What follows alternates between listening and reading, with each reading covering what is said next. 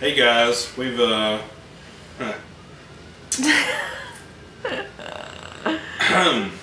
Hey folks, welcome back to Hickory Hollow and we have decided to have our land logged.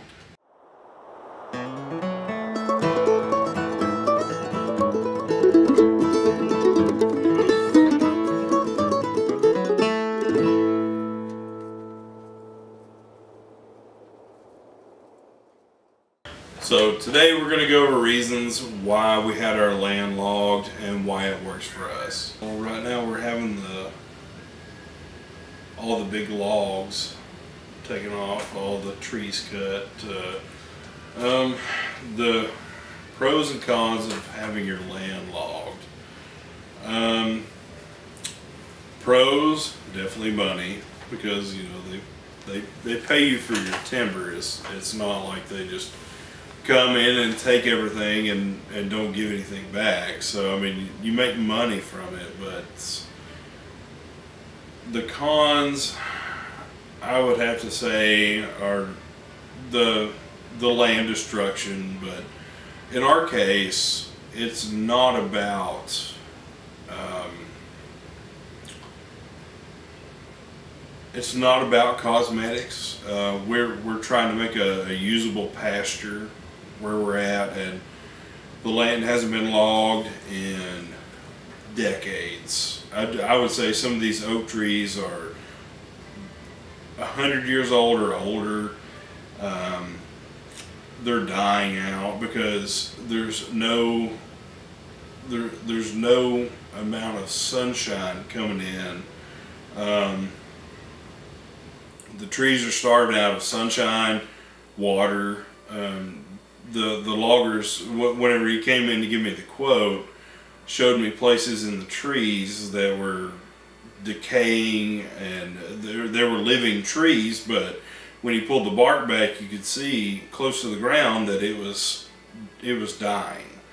And I couldn't justify not logging it for saving a couple of trees that, that were already dying. So we might as well go ahead and make the best of the trees that are already there and and bring in some income to to promote fencing, um, our water care.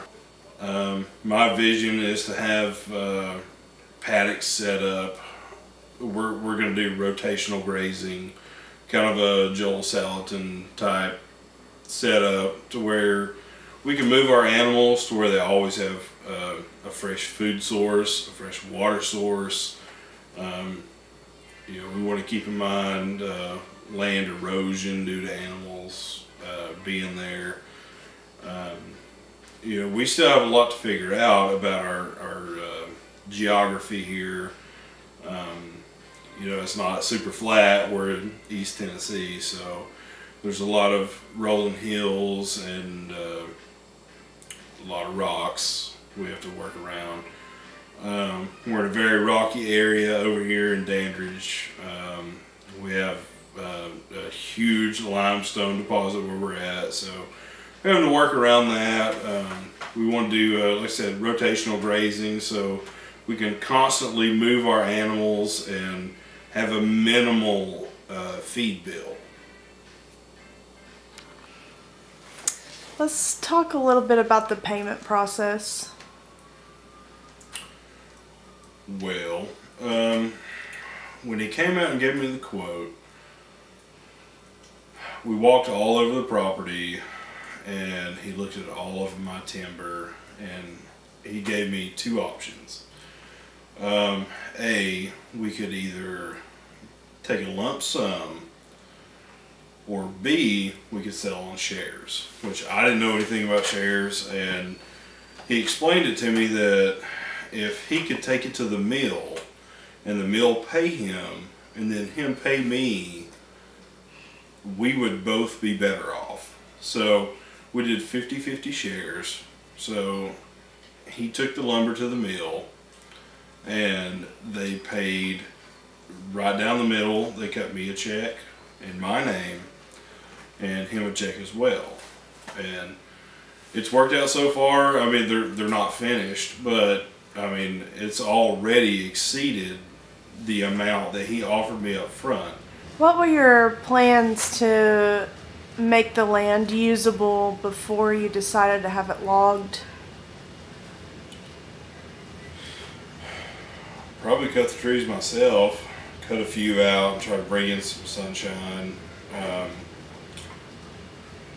that quickly became a, uh, a back burner thing of it. We've got so much going on here that I don't have time to go cut all those big trees and haul them out and and and cut them up and sell them myself.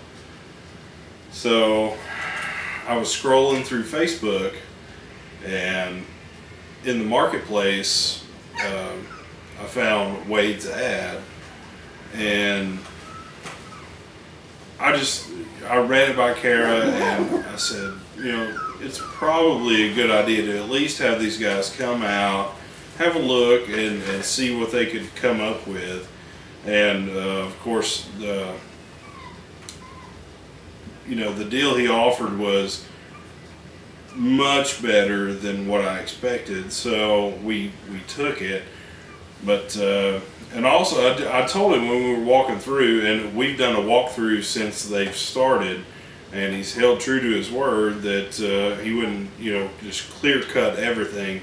A lot of the smaller trees, uh, and when I say smaller, I mean like coffee can size or bigger, um, are still standing there because obviously they they don't hold as much value as as the bigger trees and we, we didn't want a, a, complete clear cut. We need some cover left for our animals to to have shade and uh, a little bit of shelter in the rain. So we've captured some footage of what your land would look like after they came in and logged your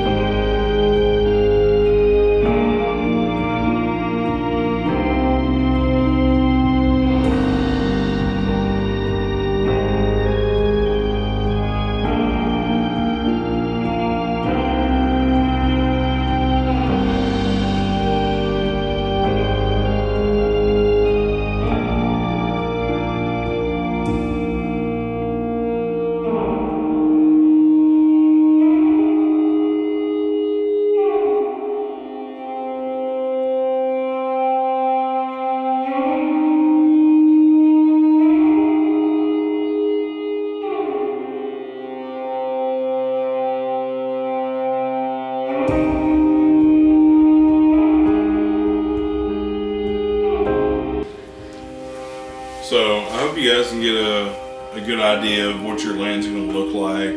They're about halfway finished with the logging process.